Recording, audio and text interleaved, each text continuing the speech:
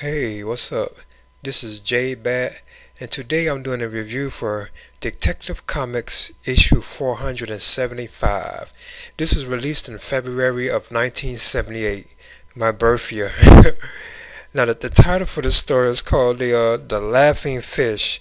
Now, first of all, I want to say that this this story had like excellent like artwork I don't know what it was, you know, like the coloring for it, like the drawing of like the characters, whether it be like Batman or the Joker, they just did a very good job on the artwork. And uh, this is also uh, this was also adapted into like an animated episode of Batman the uh, animated series, and there are very like similar like scenes from the animated series that were exactly like this this comic tale, you know, such as like the look of the fish like fish sign at the beginning, you know, and plus like you know like scenes with the joke mentioning like uh the colonel.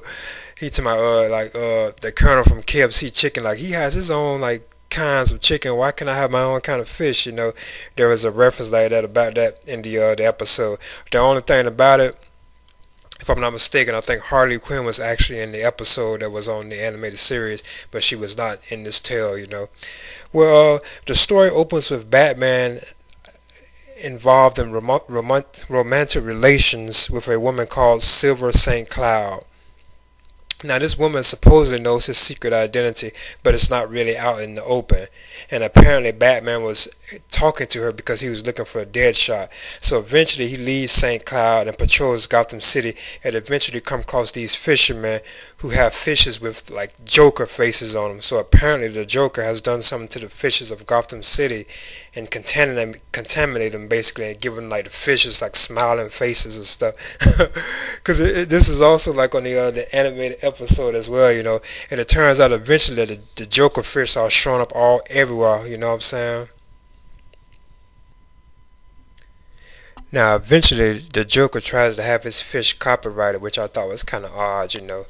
But I thought this was uh, pretty good, and it was told over like uh, it was actually it continued until like the next issue, and Rupert Thorne, you know, he shows up in his tale as well, you know.